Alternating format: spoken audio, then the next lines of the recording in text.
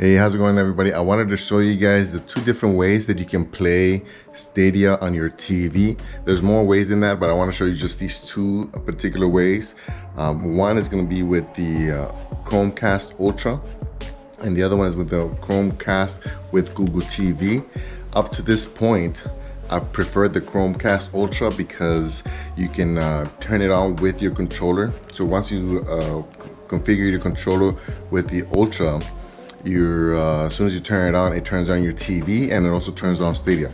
So this one should be connected already. This is the Wasabi controller. So I'm gonna run that, that one first so I can show you. So as soon as I turn on the controller you're gonna see that my TV is gonna go on. As you can see right there. And all I have to do is start hit A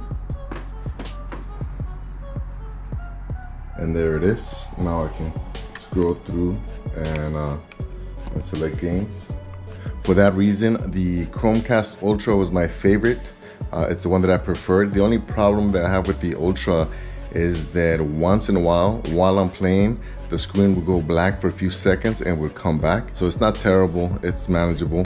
Uh, but that was the original reason why I got the Google uh, TV version but then that version uh, you would have to go to the menu and then launch it. So this is what you were supposed to do before and then I'm gonna link this controller and we'll see if it goes on with this controller. So right here you can see the HDMI switch that I have. This is the Ultra and this is the one with Google TV uh, this one right here this one right here is a small PC that I have in the in the back somewhere right there. So I can play Stadia with that PC as well. Uh, it's just that I don't use it as much because it's like a regular PC. I can do that over on my desktop. So now I'm gonna switch it to the Google TV. So it's off, I'm gonna turn it on. And now it's on. And for me to play Stadia, I would have to launch the app first, right here. So you can see right there, it shows you the games, some of the games that I've played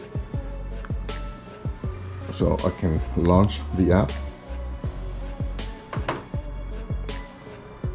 So now I'm gonna use this account.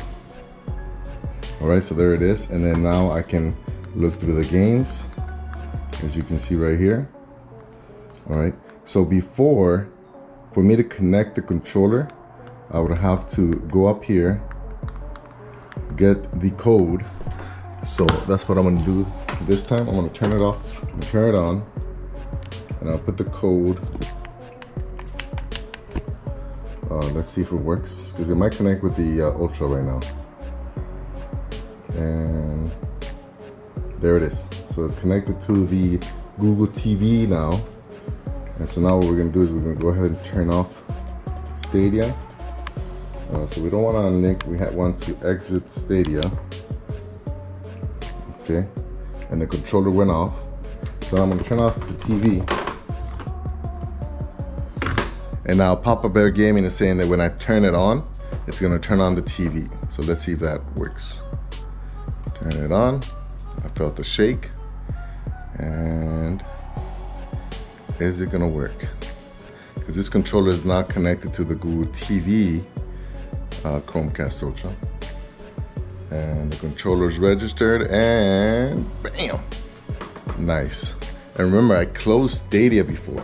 So now Stadia comes up so now I think that I, this is gonna be my my go-to because remember the Chrome Ultra version goes black on my screen when I'm playing. So uh, I haven't had that experience with the Google TV version. So now that it turns on with this one, I don't feel like I need the Ultra version anymore. The only thing is that with the Ultra, I have an Ethernet connector and I think it's plugged in. I think that's where my one ethernet port is connected to. So I'm gonna test it with Google TV and Wi-Fi. And if it gives me problems, then I either get the adapter for the ethernet or I just go back to the Ultra. So it's nice to have two options. It's actually three with that PC, but uh, the easiest way is just to have the controller connected to that. So yeah, hopefully you guys enjoyed this video. If you did, hit that like button. If you're not subscribed, hit that subscribe button and don't forget to hit the bell so you get notified when I upload new videos. Appreciate you guys watching and I'll see you on the next one. Bye.